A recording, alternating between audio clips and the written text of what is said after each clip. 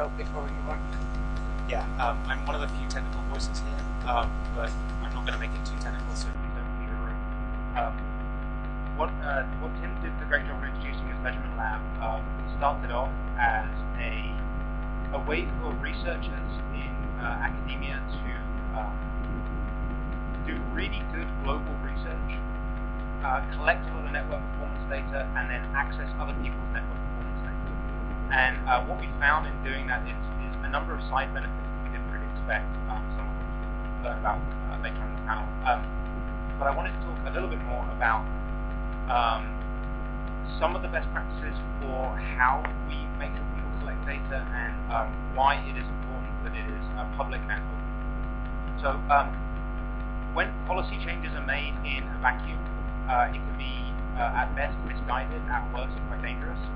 Um, when you have policy changes that are informed by data, that can be really powerful. Now, when you have policy changes that are informed by open data, public data, now you have something that's very powerful and measurable by others.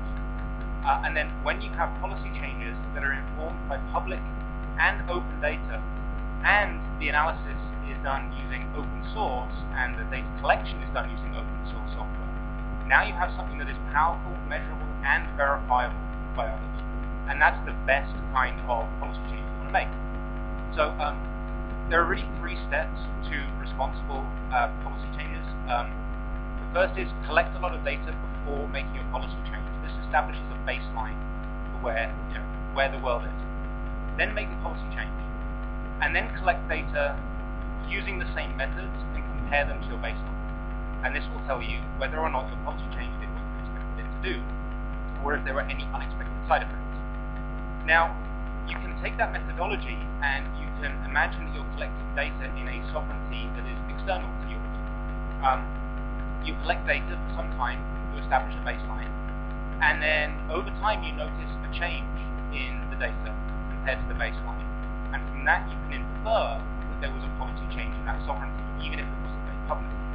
Um, that policy change might be one of censorship, one of throttling, um, it could be some you know other human rights violation, and that is the power of having the open data and open measurement and open analysis.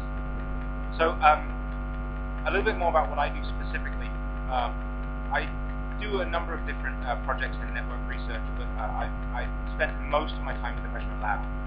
And uh, a lot of my work is making sure that the data collected is internally consistent, uh, which allows for these kind of longitudinal studies, It, it allows for these long time baseline studies to happen. Uh, making sure the platform is broad and stable so that we have global coverage. Um, establishing mechanisms for easy access to this data. I mean, this is 800 terabytes of data, and it's worth noting that is an awful lot of data. Uh, and it's not always obvious how to start analyzing it, how to start getting at it, how to find the needle in the haystack. Um, but one of the benefits of that data is that we don't often know what some of the signals in there are. Uh, and we rely on other people having access to that data to find those signals, and you'll learn a bit about that from. Um, and the other is to establish good practices for responsible collection and publishing of this data. And what do I mean by that? Well, th this is actually where some tension comes in, because we want to make sure that this data is comprehensive, we want to make sure that this data is public, and we want to make it open. But when you start collecting data about uh, people's network practices or uh, their connections from their smartphones, it's very tempting to start collecting data about things like um, their location. And uh, you might want to assign every user a unique identifier so that you can track individual devices through the network performance data. This can be very powerful, but it immediately starts infringing on those people's privacy. So we have a constant tension between uh, wanting to get as much data and as good data as possible, but also making sure we're collecting it responsibly such that we don't expose people to danger. Um, I think that's everything that I wanted to say for now. Great. Um, before I pass it to Collin, can you tell me how many 160 gigabyte iPods, 800 terabytes? 5,000. There's a lot of iPods. It is a lot of... All right. Um, moving on. So I'm going to pass it now to Collin Anderson, and and we're sort of narrowing the scope now. So we, we introduced the principles of open measurement. We talked about the best practices and, and why this is so powerful in decision making. Um, and and now now you know, Collin Anderson is going to talk about some research he did using this data that really, as Dominic emphasized, was initially collected you know, to show network performance, really to show researchers who were interested in how to tune, how to understand the global network, um, you know, to show them how to do that. This was technical data meant for technical people, and you know, by collecting it, by creating that baseline, um, you know, it, it gave Collin the opportunity to do some really stunning research. So I'll pass it to him. Yeah, they generally use iPods as a measurement of uh, capacity. We're, we're in the measurement. Uh, so I want to start off. There's a, another slide I think that should uh, be a lot more framing as far as. I, I have a minute. Okay. Uh, so what's interesting is, is that states are increasingly sophisticated in the ways that they control networks. Whereas in 2009, you would see articles and mechanisms uh, for states like I, I generally focus on Iran, and so I'm going to use Iran as, as a specific example because Iran has, a, I think, a strong tradition of, of being more sophisticated, more aggressive, and in some ways more creative in the ways that they censor the internet.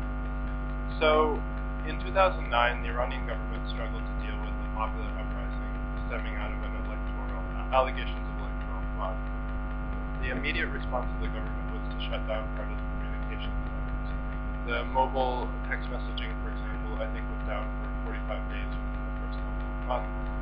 And what you saw across time was that when there were specific protest moments, that were to be shut down, they would be more heavily censored, they would be subject to greater degrees of interference. In in the case of Iran, this became in, in, in some ways increasingly sophisticated, more narrow but more aggressive. So whereas you had that total network shutdown in 2009, in 2010 you would see interference with SSL, you would see interference with the Tor network, DNS hijacking of particular things, you would see uh, DNS hijacking leading to a phishing site uh, for Gmail using a compromised uh, cert. This is in, increasingly sophisticated and in a sort of morbid way kind of impressive. Uh, and so along this narrative, what you also saw was timed with political moments, this, this, this idea that the internet was slow. And and I think that this is this is interesting because pernicious because it's poor it's a it's a poor story, right? It's not tangible. It's just sort of you know, we all have experiences where the internet at our house is slow. But when you look at, at you know this mechanism of speed throttling, it's actually an incredibly ag- aggressive, targeted move, right? Because if this isn't simply you know Comcast is slowing down my, my BitTorrent, this is my morning routine as I wake up, I turn on my anti-filtering tool. Maybe by the time the tea is. A couple of hours, uh, you know, as I'm making toast, uh, maybe maybe I've been able to log into Facebook, and by the time my breakfast is fully prepared, maybe I can get my, my news feed up on Facebook. And so this became increasingly the story associated with pre-planned protest moments.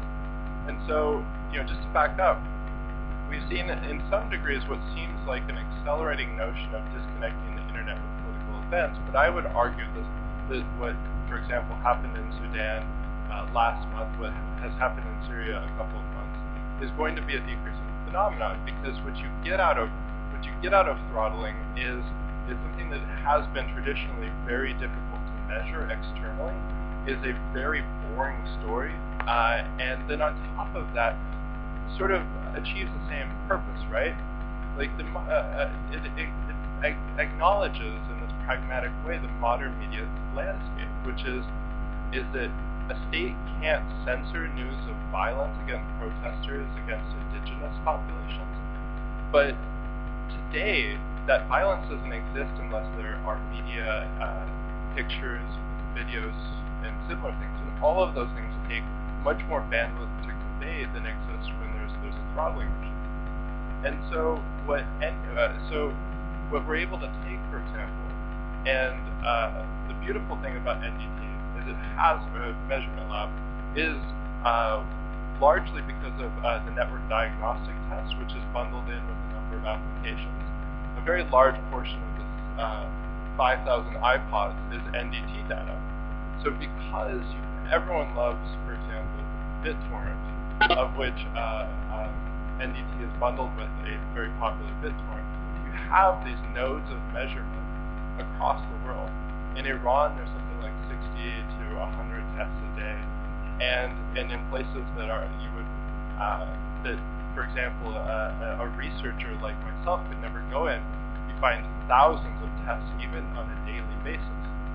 And so what we have now is we have this this mechanism of accountability that was built in order for you know uh, in, incredibly like relatively uh, nuanced uh, issues public policy. And so we can take this data, this measurement data, which had, you know, initially was seemed to be conceived of to for FCC and for European Union type uh, purposes, and we can apply it. And so now we have a daily mechanism just to test uh, and detect for throttling. And so what we're able to do in this case is, is go back across, you know, the beautiful thing is that this is this is more than three and a half years of data. So we have a very large portion of, of the sort of uh, post-2009, post-green movement period. Have uh, sort of demonstrable evidence that we can go back and say, on this date from this date, throttling occurred, it was you know X percentage decrease, it lasted for this long, and then on top of that we can start even taking a look at who the privileged people were. And so to take for an example, uh, and I'll, I'll, conclude with this. So, like I said, Iran has has a, actually a very predictable censorship mechanism. Important dates, popular uh, moments of contention, and in, included in this is, is, elections, especially an election. You know, this this election that happened on, on June 14th was the, the first presidential election since the, the Green Movement uh, so you know that something is going to happen. And so based off of that, we can we can sit with this data and we can measure as the Iranian government institutes throttling the day of the official candidates being released and not relenting on it until the day after the election results were announced and stability hit. We can also take this for an advocacy point of view and then turn it into into real public uh, public tangible results. So this graph, for example, is the electoral period, and what you see is an over 70% decrease in, in aggregate bandwidth. This doesn't really begin to, to show some of the other uh, uh, forms of censorship that occurred, but it's very demonstrable over the control that happened. And based off of this, based off of using peer-reviewed, methodological, citable sources, you can then take this, uh, take this graph, and this graph appears in an alternative form uh, in the UN Special Rapporteur for Human Rights in Iran's report that was released a couple of days ago. And there are something like two or three, three or four um, issues of, of internet censorship that are included in that. And two are built off of open data sources that have and open uh, methodologies that, that exactly what we're talking about. And on top of this, last uh, the Iranian government reacts to every one of these reports very vehemently. And this is because they can sort of create doubt in, in the methodology and the data collection. In this case, what we can say is you can run the tests. Here is the code. Here is the calculations. You can run the tests. How do you, how can you disprove this data? It's difficult And so this is what everything that, that uh, the, my previous two colleagues are, are, speaking of. This is the power of that sort of sentiment. Right.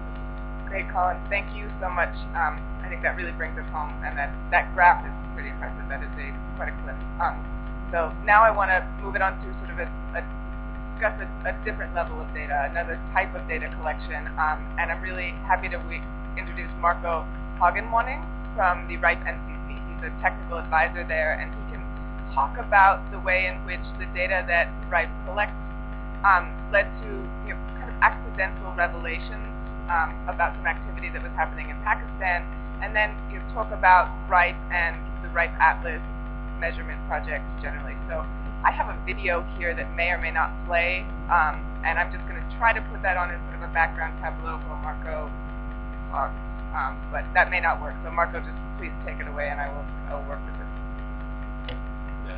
Thank you. Uh, as Meredith says, I work for the RIPE NCC, the regional internet registry for Europe, the Middle East, and parts of Central Asia. And in our business, we distribute and register IP addresses. Um, besides that core activity of, doing that, we also got quite a substantial research department, and, and that that came that that came into existence out of a bit of curiosity.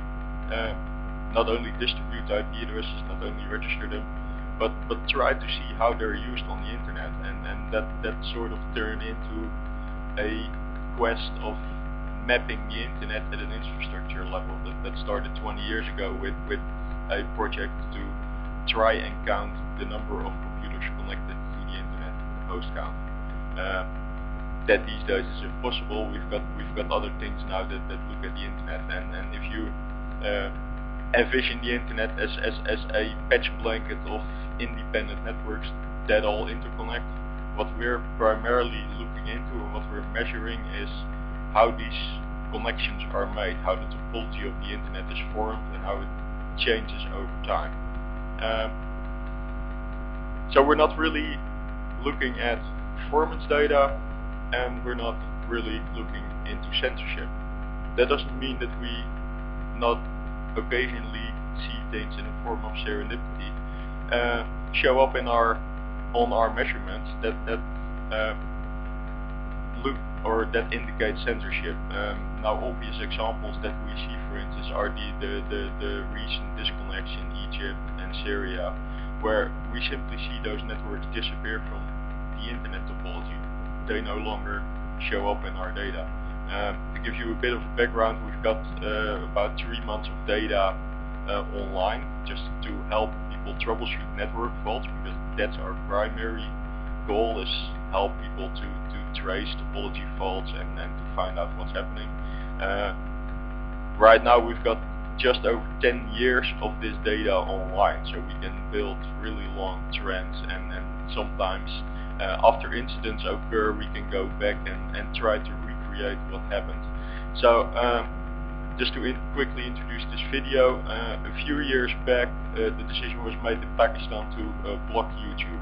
Um, that was in quite a rush and uh, sometimes people make mistakes. So the first thing is that uh, this was never bound to show up in our data. If everything would have worked out as planned, uh, YouTube would have been cut off in Pakistan and nobody else would have noticed it. Um, some misconfigurations uh, both in Pakistan and, and, and upstream of Pakistan uh, caused uh, YouTube to disappear for the whole world. And that, that delivers interesting data if you later on go back and visualize what happens and, and, and with that we can then point out like where the mistakes or point out we can assume where mistakes were happening in the configuration and try to So if Meredith can an attempt in, in I, loading this video? I don't think I can. Okay. But um, maybe you can, you know, there is a video here and uh, we can provide a link at the end uh, so you can watch it. I think, you know, I, I trust Mark Marco's narrative styling to communicate sort of what happened. It was really, really yeah. interesting. Um, so yeah, the, the, the picture show, showing a snapshot of one of our visualization tools where uh, it, it, it's kind of tiny where every number represents a network of the on the internet. To the left, to the right, I think is, is, is YouTube here, and to the left is Pakistan Telecom. And if you would play the video, uh, which you can't, uh, you sort of see that, that announcement you see uh, where, where Pakistan tried to pretend they were YouTube and that's, that's quite a common technical way of filtering something really quick and easy. You pretend that you are those IP addresses and that all traffic redirects to you. Uh, that was meant to stay in Pakistan. Unfortunately, it got out. It got out to the world, and and as as as that message spread across the internet, more and more networks decided, oh yeah, YouTube is in Pakistan. Let's go there. So all traffic that was directed at Google, that was directed at YouTube, ended up at Pakistan Telecom, which uh, A couldn't handle the load, and obviously of course didn't have online. Causing uh, the rest of the world to panic and uh, probably go easily bored because YouTube was down. Uh, I, I, yeah, it's it, it's a shame that we can't play it because it, it's a really nice visualization and you sort of slowly see see the the world pick up on it. Uh, we see Google respond and, and pretty fast uh, in trying to mitigate the mitigate the error in, in making several other messages messages to the internet saying like no no no we're really we're really YouTube and and we see network some networks pick up on that, and some networks don't and uh, yeah, the end of the story is that uh, somewhere upstream of Pakistan, uh, somebody gets a call and hey, you made a typo, corrects the error, and you see pretty much Pakistan telecom cut off and the world restored uh, back to uh, the original plan that is YouTube in Google. Um, now, you also have my other slide? Okay, because uh, this is one thing, topology. Uh, now, looking at that and looking at the health of the internet, we came up with a new plan, and that's uh, called RIPE Atlas. There are many atlases in the world. This is ours, and um, we've got, and I've brought a few, these little tiny devices, which are tiny little Linux computers that connect to a network, can be in your home or in your data center, and can run really small measurements. Uh, the equipment is not smart or not big enough to do content analysis, we can't do performance measurements, but we can do things like ping, trace route, we can make a basic network connection to a web server or send out a DNS request. Um, our goal is to have one sitting in each of these networks that make up the internet. There are 50,000 of them. Right now we've got uh, uh, up to close to 5,000 of these little devices online. Uh, the map, every dot represents one of these devices and you already see a few red ones. Those are the ones that are, at the moment we took the snapshot, not responding. Now that could just be a network fault at home or a power outage or whatever. Um, now the interesting bit in this network is while we run some basic measurements to check for instance on our K-root service and, and uh, try to map topology changes on the internet. We build this as an open platform.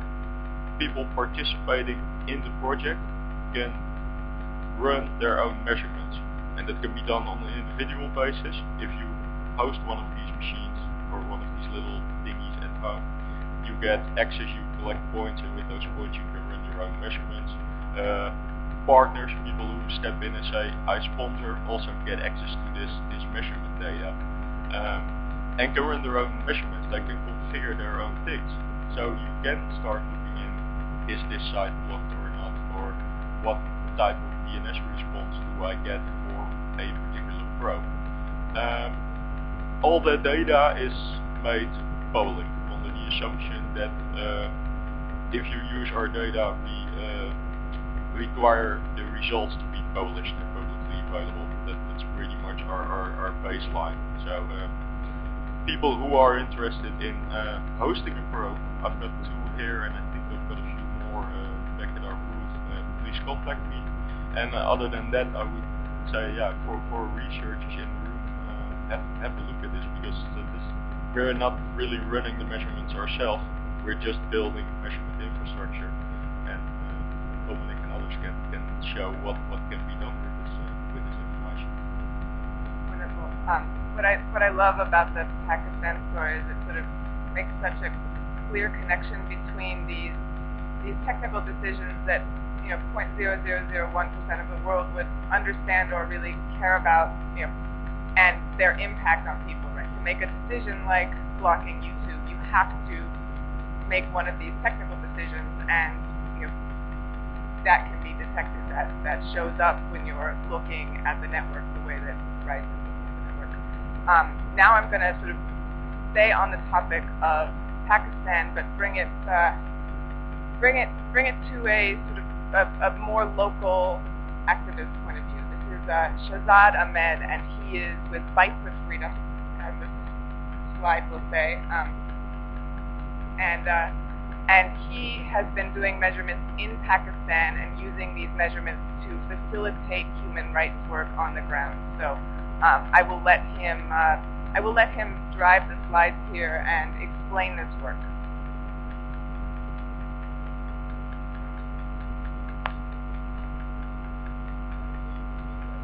world has forgotten that uh, YouTube fiasco, but it is still alive and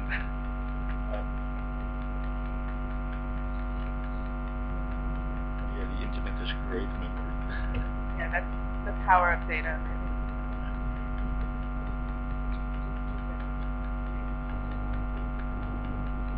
Okay. Uh, quickly, uh, Bytes for All. Uh, we are a, uh, an organization based in Pakistan. Uh, have been uh, working on internet censorship and surveillance issues since 2007.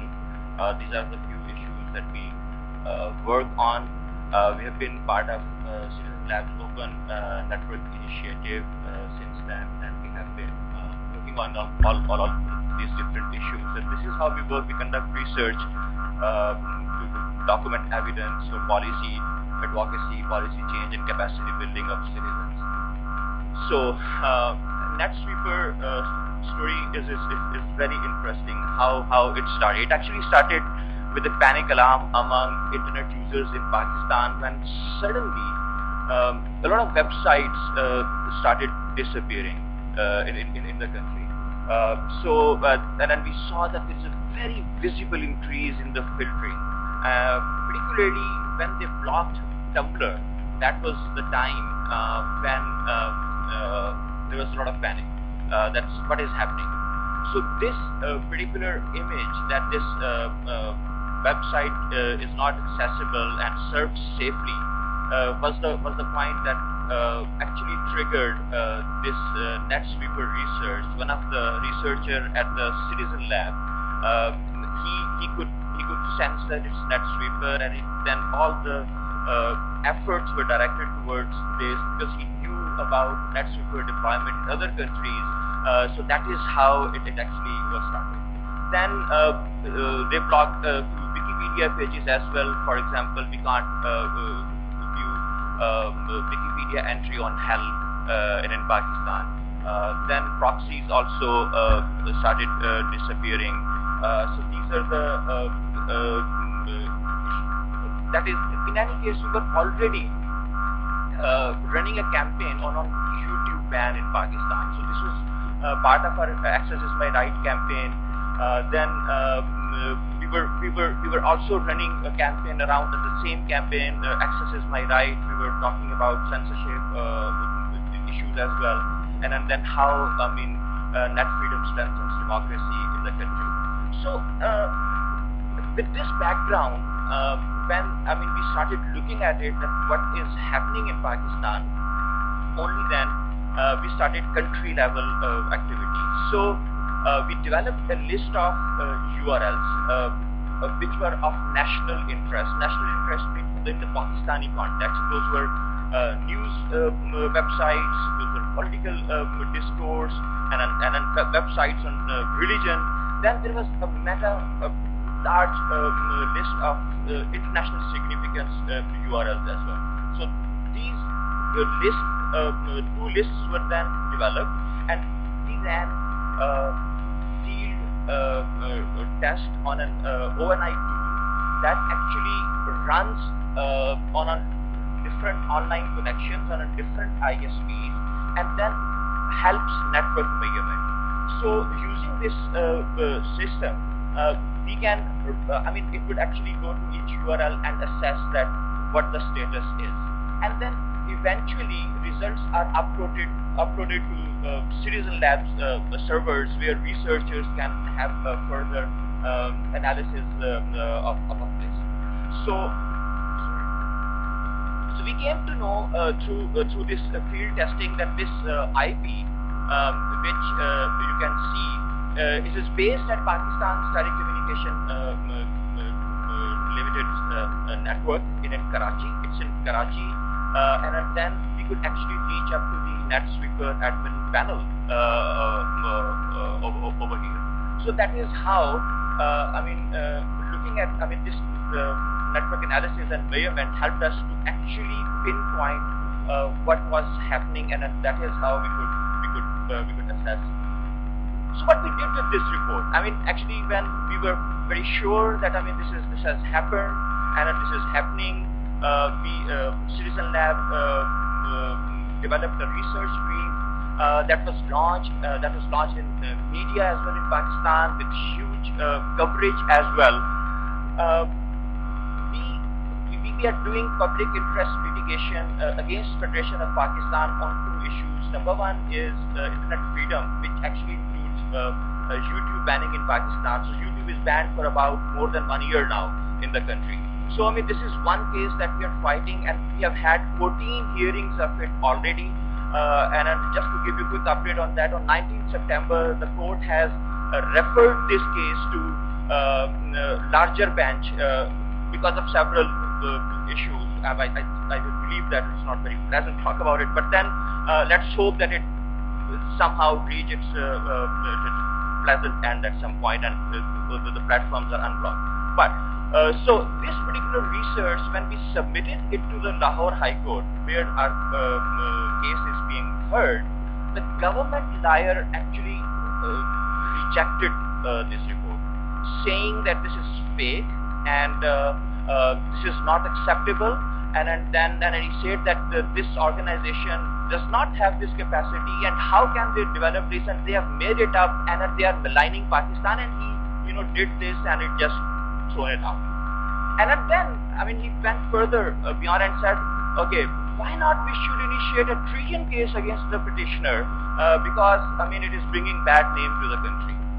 Uh, and that it would it would unsettle anyone. But we, we had very authentic and uh, uh proper research uh, backing us with, with proper data. Uh, and then luckily the judge himself had seen this report on the website of Citizen Lab, so he dealt with him accordingly as, as he as he had to. Uh, so so that was a, little uh, interesting uh, um, thing. So we, we did this poster as well for the for the campaign. so. so, so that's the quick story. I mean, just wanted to say that it's that these kinds of uh, data research analysis are extremely important for effective uh, um, uh, policy advocacy uh, in, in, in all because situation is changing. More many countries are now heading towards controlling the internet and filtering and you know it's it's not only Pakistan is a democratic country, we're a democratic society and we're proud of it, but still they're doing it so there are uh, repressive regimes as well. They would do it more so, I mean, it is extremely important that, I mean, we, we know of these cases and we know how to go about it. And then when you go with proper research and deal and then talk to and face these uh, people, uh, the policymakers or the, uh, or, or, or, the judges in the court, uh, it makes your case very strong and uh, it, it, it, helps in, in, in various ways. Thank you so much, That was it. Um, yeah, that really brought it home, and thank you for your work there. Um, now we're going to come into the presence um, and really you know, talk about some of the work that Citizen Lab is doing, you know, has been doing for years, and has been doing this week. Um, this is not theoretical. Um, we're going to discuss some of the results from their measurements at IGF and in Bali, looking at network practices here right now, um, what are the differences between the networks that we as IGF attendees can access and the networks that are available to people who live here on the ground. Um, and I will let Masashi and Daru, who work with Citizen Lab and have been doing these measurements, um, you talk about them and I think just give an overview of some of Citizen Lab's work over time because I think that really helps frame where we are today. Thank you, Mer- Thank you, Meredith. Just to get started, I just want to zoom out for a second and talk about our general research area, which is trying to understand information controls. And we do this with our partners, such as Bytes for All, Daru, members of the Cyber Stewards Network that have joined us at the IGF this year. And just to give a definition of information controls, uh, we consider them broadly as actions conducted in and through information communications technologies that seek to deny, disrupt, manipulate, or monitor information for political ends. So what does that mean? Here's some examples of, of information controls, and we'll just go through the different categories. This is by no means comprehensive,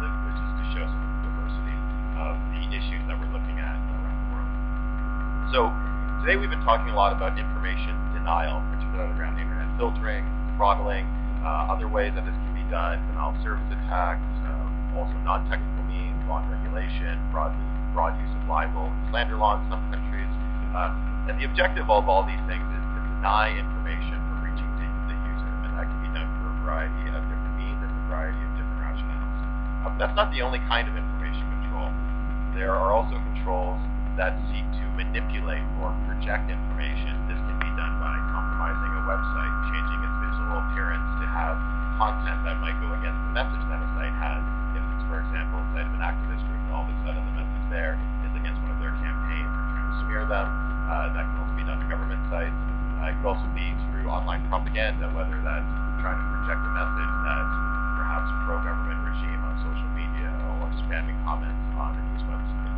that's not to deny the information, but to manipulate the discourse that's happening in our online sphere.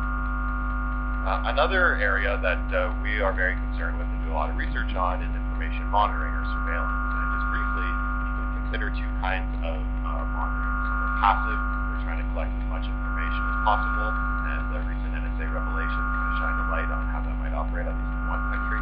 And others are more directed,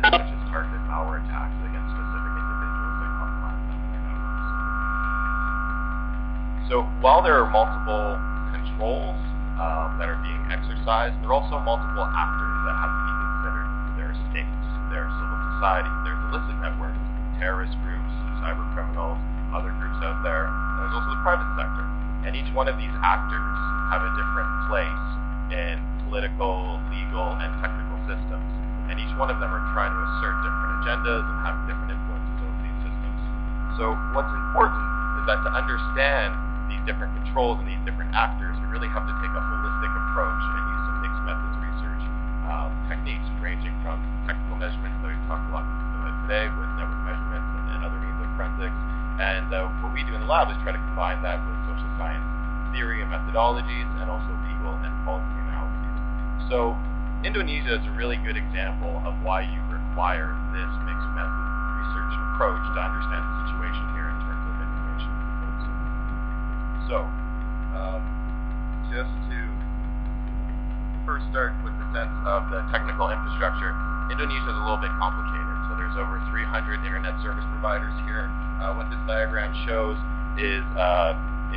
those are uh, Indonesian uh, autonomous systems, and uh, the different colors are, are foreign systems, which are under the administration of particular entities or authorities. So the middle layer of nodes are Indonesian networks that have upstream connectivity to foreign networks, which are on top. And so the point here is that this is very decentralized. And in fact, in 2012, uh, Renesys um, put out a blog noting that uh, uh, due to this decentralization, Indonesia is likely to be extremely resilient to internet disconnection, which is interesting. So um, using the uh, general methodology that Shazad explained, we've been doing network measurements in Indonesia for some time. Um, oh, sorry, um, we've been doing network measurements in Indonesia for some time. This shows a summary of our measurements from 2008 to 2010. And uh, the takeaway here, and there's a, a, a, longer paper if you're interested methodology, and also the data is available, is, is that just as the technical infrastructure is decentralized, uh, so too are the techniques and uh, means used to filter content.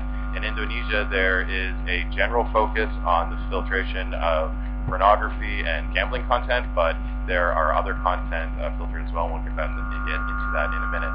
So without going into the details of this graph, you can just see that across these different ISPs, uh, there's different means of filtering. So um, just as the infrastructure is decentralized, so too are the controls.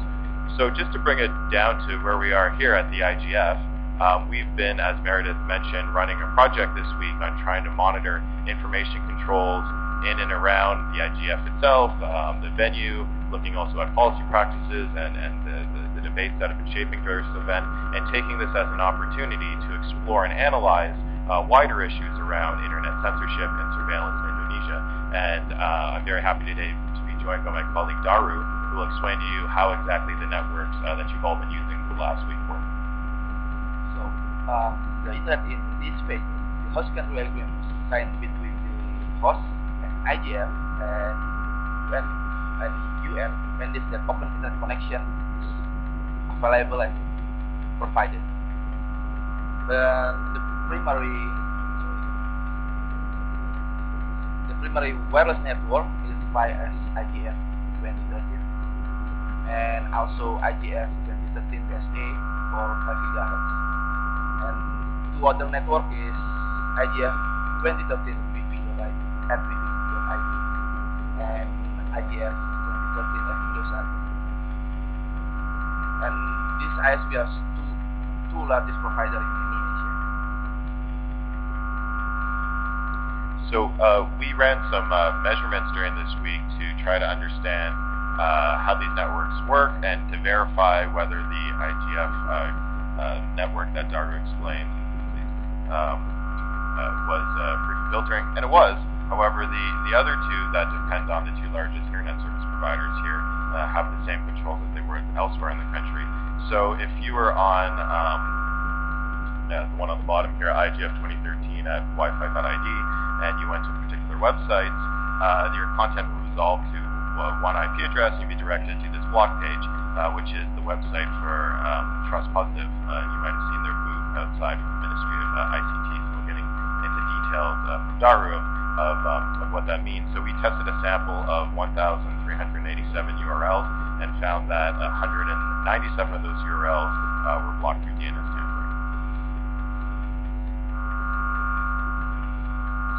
Uh, and a, a, variety of content was blocked, including pornography, but also LGBT content, independent media sites, critical religious content, and uh, circumvention and anonymized bills.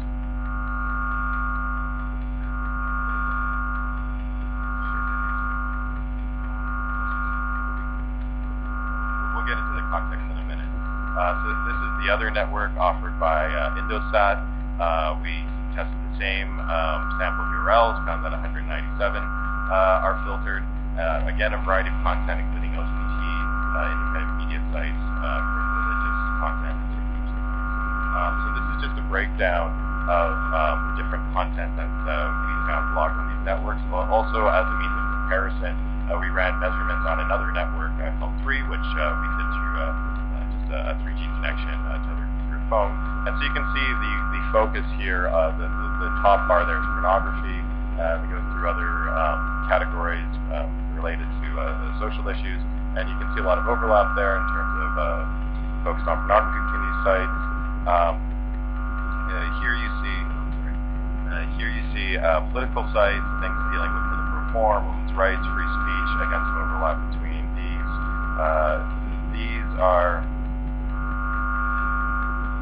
uh, these are uh, content related to internet tools, anonymizers, e-content, email So just to give a sense of the overlap between these, um, the, the, highly decentralized uh, environment of, of, Indonesia means that there can be a variation how content is filtered between ISPs. Uh, however, our results just with these three ISPs out of the 300 that are available uh, in this country, uh, do show some uh, variation in filtering. There is a general overlap in terms of the content filtered. Uh, there is definitely a focus on pornography, um, but we also see um, Uh, uh, the, the, blocking of non-pornographic LGBT content. And one notable area of difference is uh, anonymizers and circumvention tools, which we saw more heavily filtered on the Telkomnet network than the other two. So that, that gives you a sense of the network measurements that we've done, again, in, a, in a, limited sample of what we were able to do this week. But just with technical measurements alone, that doesn't tell the full story. And you really have to understand uh, the policy dimensions, the legal dimensions, and what civil society has been doing in country. And uh, to do that, I'll turn it over to my colleague, Gar. When we talk about uh, this internet filtering issue, we have to move back to 2008 when the Electronic Information and Transaction Law limits freedom of expression in economic information. And one paragraph on that law limits uh, dissemination of information that invokes hatred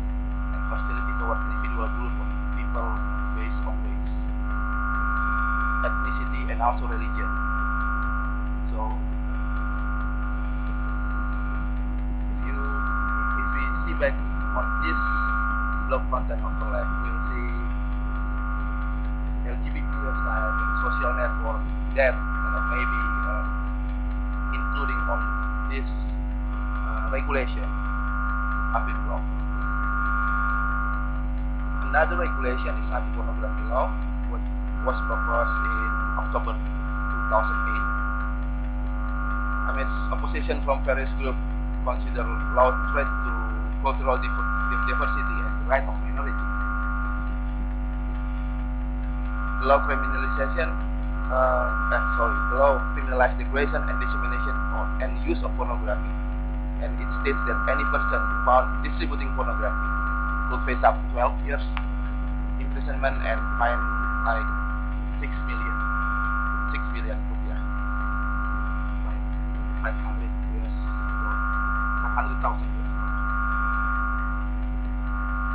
Anti-pornography law also aggressively promoted and implemented by many lesbian internet cafes 2010. That's the first stage of this then children the neighbor. And after that, um,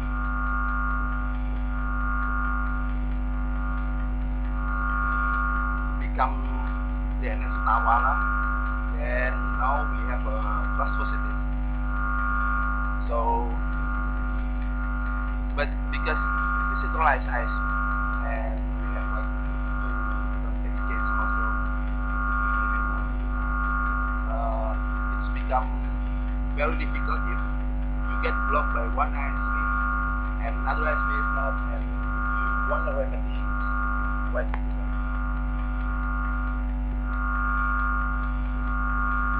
So uh, we'll be publishing uh, reports on, on three issues looking at the infrastructure and governance analyzing content controls, and also exploring uh, surveillance uh, by the end of uh, today. So you can have much more details on it, and I'd love to open the floor to discussion.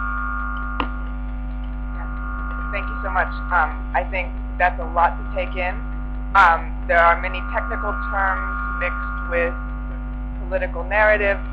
Um, please ask questions to clarify anything. Um, we will we will put up links to where to reach the data, where to watch the video. Um, but I would, you know, again, love to echo Masashi and open the floor to questions after I thank the panel. This was really, really stellar. I'm really grateful for you guys to be here, for all the hard work you did that brought you here, um, and especially to Citizen Labs, who's been really leading the charge on this this type of research, this database analysis of ground truth. Um, so thank you.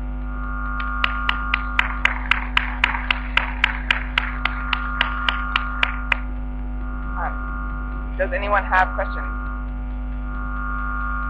I see Ali.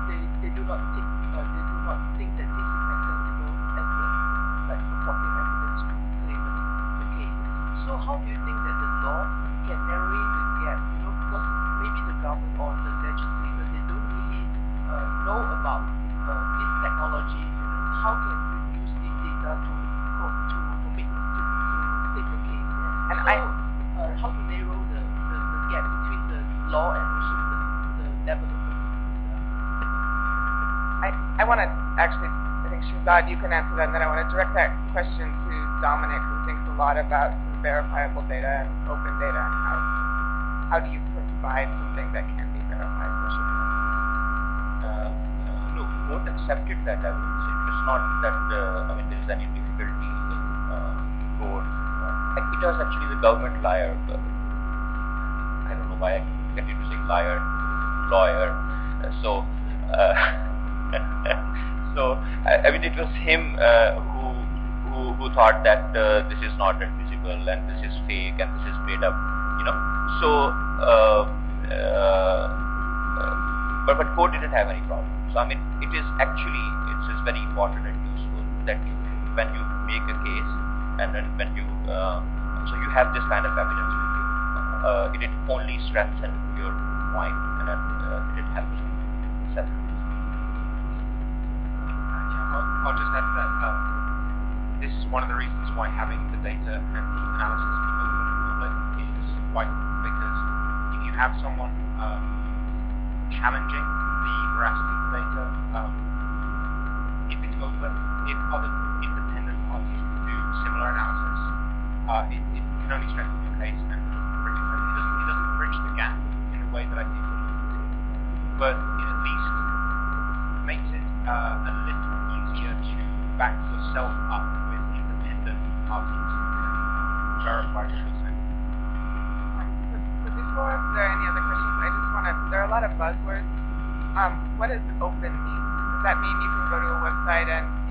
about it? Um, what, what, what is it, what is open data versus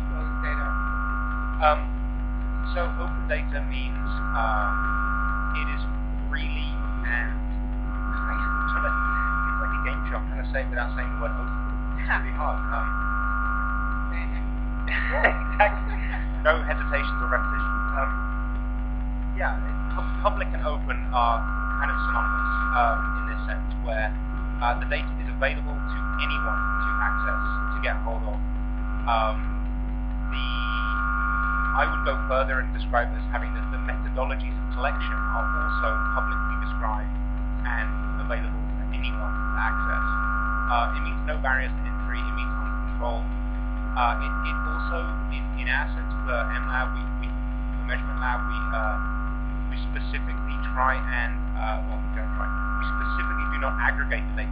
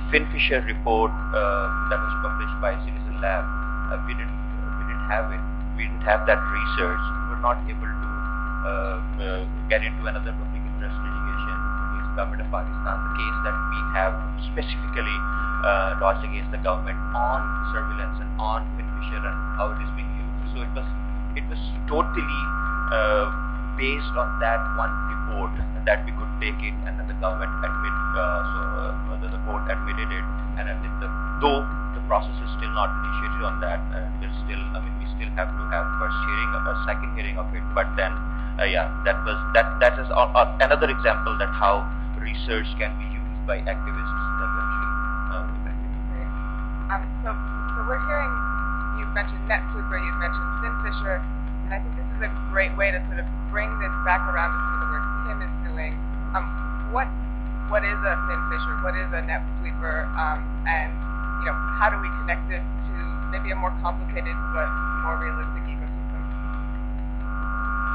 this touches now on the work um, that also applies uh, Citizen Lab. So, please uh, chime in here.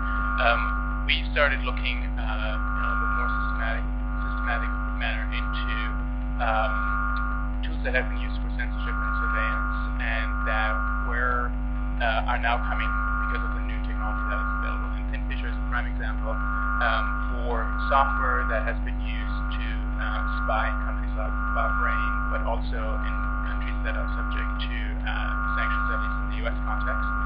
Um, and in terms of the work that we are doing is using the research that the Citizen Lab and other groups have produced in terms of analyzing the technology um, and then tying that to our policy uh, analysis by looking at what existing, um, what is part of already the export control regime. And in the US, you have certain provisions with regard to crime controls that already allow a review of such technology, but also where are the gaps. And that's where this empirical research, uh, analyzing and taking apart what technology are we actually talking about is critically important because it allows us to then look what kind of language in the existing policy uh, already could be uh, already matches uh, the description of that technology, and to what degree are there limits. And Collin might be uh, might want to add to that a little bit as well because I know he's doing a lot of work on that. Um, one example. Um, we have now with this measurement uh, data that we talked about here, the ability to actually go a little deeper and find out where um, those technologies occur in what countries, um, and then find out also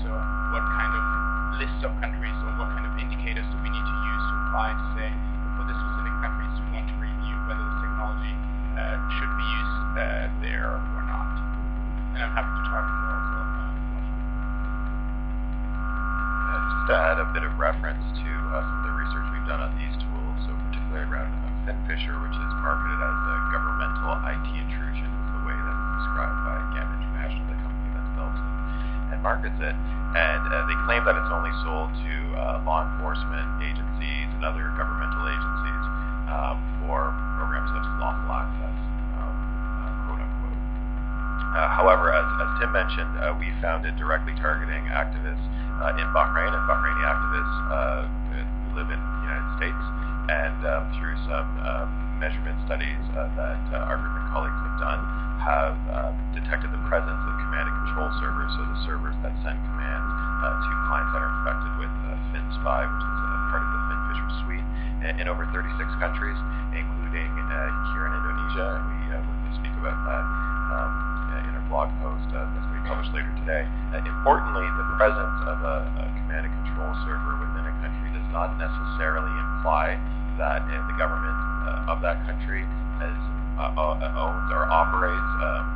FinFisher. However, it opens some very interesting questions. And you know, as Shazad mentioned, we also found a presence in Pakistan. And I think you know this is an important aspect of this research that really has to be uh, community driven. And uh, so you know, we're university-based researchers. We can create an evidence layer and uh, help inform people about what's happening out there. But we really uh, depend on our partners um, like Bytes for All and others to take that evidence and, and run with it and try to ask these questions uh, of their governments and, and, and otherwise of you know, why uh, are these devices being detected on these networks? What does it mean for broader implications uh, for privacy of, of citizens in those countries? And, and just quickly on, on NetSweeper, uh, NetSweeper is a software used uh, for internet filtering developed in uh, Guelph, Ontario. We're based in Toronto, Ontario, so they're kind of neighbors of us. And uh, we found it, um, of course, in Pakistan, but also uh, being used to filter um, political and human rights content across countries in the Middle East. And we actually found an installation uh, this week in an ISP in Indonesia, uh, which is interesting. And that just further goes to the point of how decentralized uh, filtering practices and techniques are, are in Indonesia. While you have programs like uh, Trust Positive and Nawala that are trying to centralize it, there's a lot of variation uh, between the ISPs. Great, thank you. Um,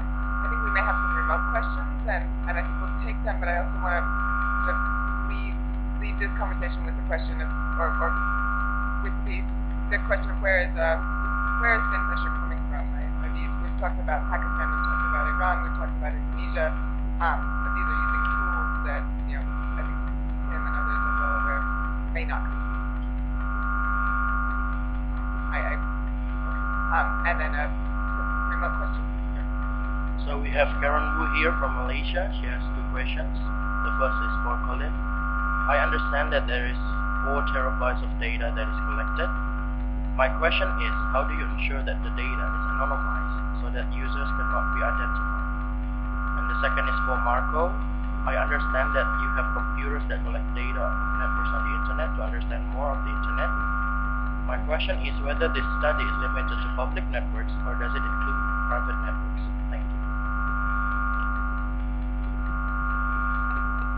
So um, this is what I was saying about the responsible collection of data. Um, we spend a lot of time with our um, with the researchers that write the measurement tools that uh, run the experiments and provide the data that we uh, manage at the measurement um, lab. Um, we spend a lot of time with them to make sure that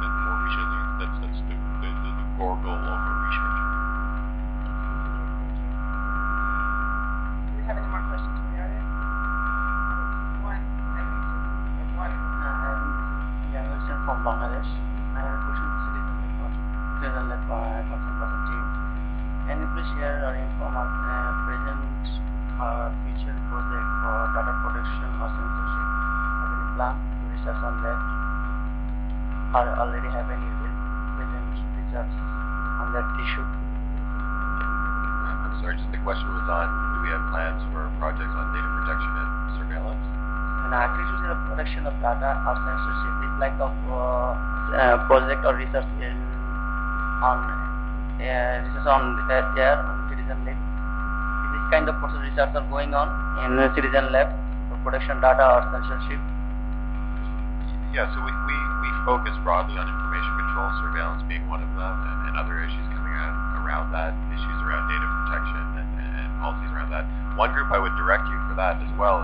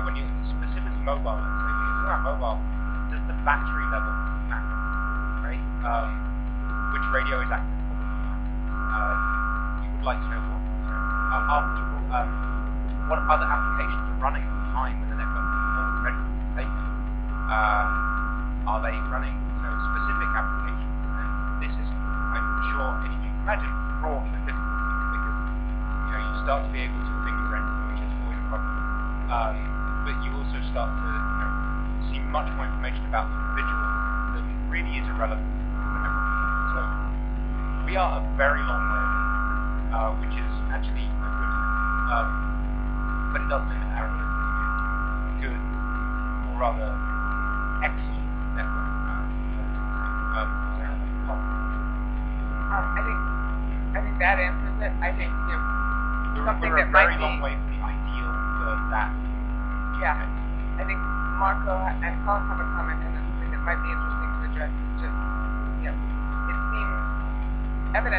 that we can say a lot about networks we may have. Um,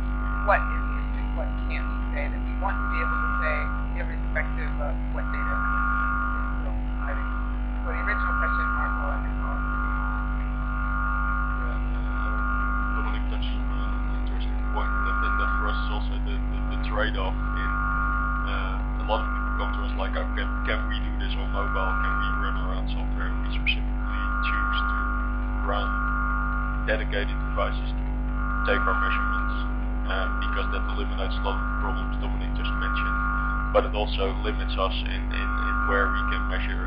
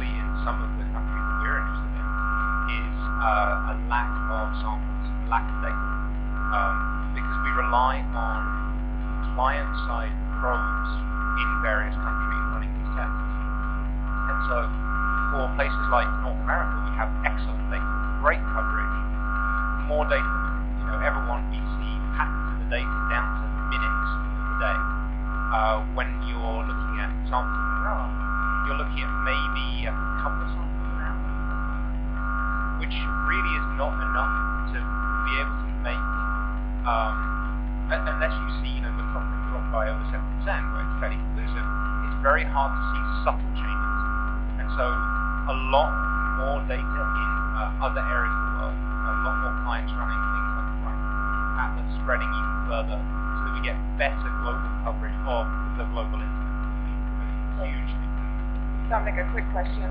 What is a client-side programming a test? um, okay, so uh, Measurement Lab is a, uh, a, global platform, a bunch of servers running uh, all over the world uh, in various data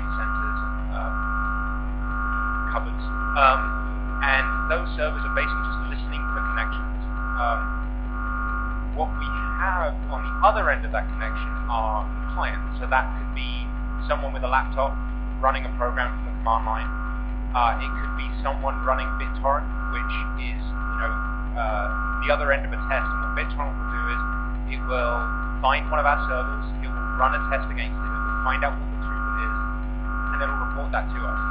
Or something like uh, MobiPerf, which is a, an Android application that you can run on your phone that does speed testing of your connection. And so those are all client-side side, which is this suite of servers that come worldwide. So these are people whose devices send data to the server. I could just add, just uh, I think everything my colleagues have said about rigorous technical measurements and you know new tools that are out there is very exciting. But you know, as a social scientist, my dream data set is a little bit different and perhaps a bit more abstract. So I would like to see uh, you know a comparative data set of uh, the bidirectional relationship between political events and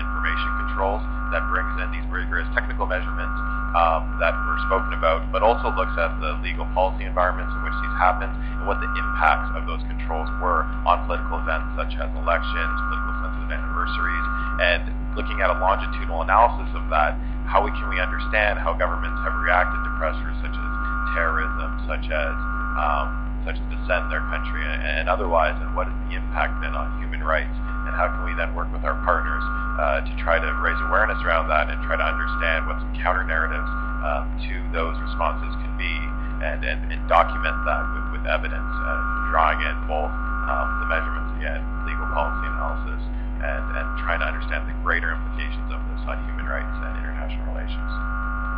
Great point. So we have about five minutes left. Um, I, I know Collin has a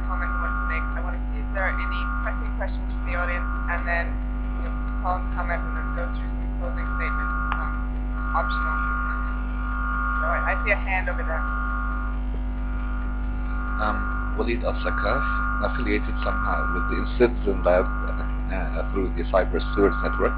I work on circumvention um, ideas and tools for the Middle East in particular.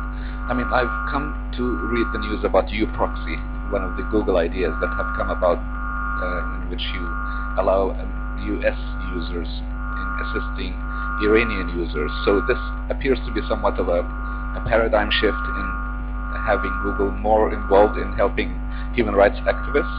I mean, is this a trend that will continue and whether this will move on to other countries around the world? And another question is, do you find that uh, mapping censored web or filtered websites through a, perhaps a plugin on a browser uh, or some other solution that would give comprehensive data to many of us around the world trying to understand the phenomenon of filtering useful?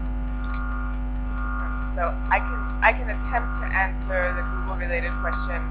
Um, unfortunately, I work in a fairly narrow field of research. I don't work with ideas, um, but I am aware of the project. I think one of the things to emphasize here is that you know, freedom of expression is really important to a number of people at Google, um, and that this was the, the uProxy project was actually developed at Google. This was support given to a group at the University of Washington, uh, a, a, group that was developing the Lantern project, um, I, you know, and, and that this is an ecosystem of development that has existed for a long time, um, and that you know is being is being supported by people who saw this as an opportunity to offer that project. I don't know many more details, um, but but that you know that this this was developed in collaboration with a number of people who've been thinking this for a while. Um, and then you know, is there a browser plugin to measure blocked sites? Um, I, it, to certainly be possible. I'll let anyone who knows a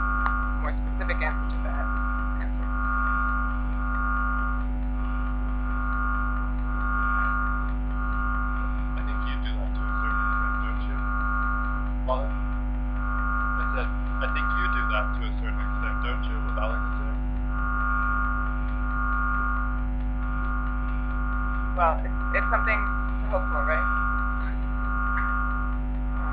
great. Is there are, are there any other questions before we go to the panel and let them wrap up?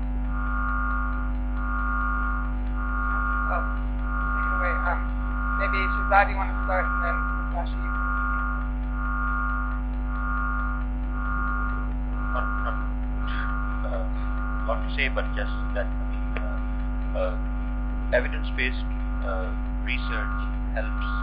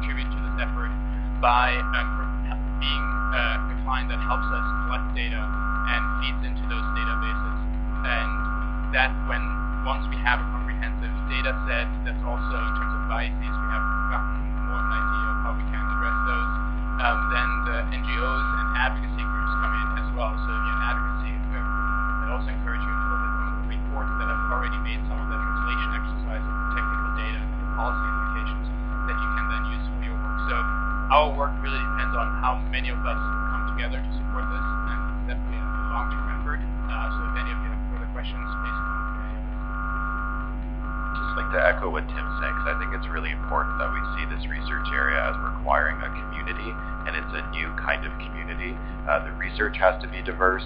We need rigorous technical measurements. We need to bring people with expertise on that, many of which are joining me on the panel today. But we also need to look at the legal regulatory frameworks that requires law. We need a broad section of social science. We need uh, area studies. We we had, for instance, a, a workshop that uh, Meredith and Collin, some others attended. Uh, in uh, last July uh, that we hosted where we tried to bring together a multidisciplinary group of researchers looking at information controls and I think we had like 22 different disciplines and departments there and that was really exciting but it's not just a, a research exercise it's not just something happening in academia or with, uh, within the private sector and it really requires linkages of how can we turn research outputs into effective research communications that can have policy influence in the way that Shahzad, uh, Daru, and, and others that are here today have done.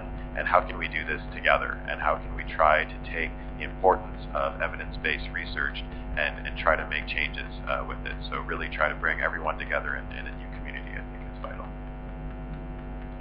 Uh, and um, to both echo and uh, expand that a little bit, um, the other day in a panel there was a um, someone from the UK Parliament was saying that uh, they weren't tech- technical at all, Uh, so how could they begin to understand some of the technical issues around some of the policies that they were working on? And I think what what is clear from this is there's an awful lot of work going on by a lot of people who are very interested in this forum, in internet governance, do have technical know-how, who can provide that expertise, and are willing to, you know, work with non-technical people to try and uh, in, increase the amount of evidence-based work that goes into policy changes and policy work.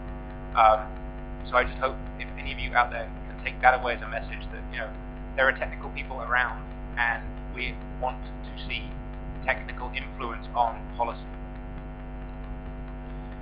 Yeah, uh, echoing with the previous speakers, uh, this the, the only reason this research is possible because of the thousands of volunteers that help us collect the data, and we need more. We need more MLab points. We need more RIPE Atlas probes out there that, that, that put data into the system for uh, these people to analyze. I think that I'm going to define success and define it ask, uh, because we've kind of given broad sentiments. If you're a developer, I think it's strongly important to consider the inclusion of your tools. If you have the opportunity to develop a platform or maintain a platform, a technical platform, this is an opportunity to contribute, and there are a lot of people on stage that would be more than happy to nurse you through that process. And then secondly, I think that if we define success, success is based off of the localization of and while this is an international crowd, um, the the less that I have, the less that the next iteration of this has an American in, in my place, uh, the more successful it will be. Uh, having local outcomes, local advocacy, and increasingly even local use of this data defines what open data, free data is, is wh why it's important. And so I would stress that uh, anyone in here who's interested in developing a policy outcome in your home country uh, own this data uh, because I think it's, it's a lot more effective if, do it than any international organization. So I, I just really want to reiterate that localization is the most important thing for these sorts of efforts. Um, well, thank you so much, everyone, for being here. I think you know, I want to echo all of those statements. The know, Masashi's emphasis on community and sort of multidisciplinary approaches to taking this data, taking all of the information we can gather, and you know, painting a picture of what's really going on. Because that's what this is about. This is about having evidence of what the truth and the reality of the internet and its impact in our lives is. Um, and that is, I, I think, may require some multi-stakeholderism. Um, I, I drew that in there for you guys with the bingo cards.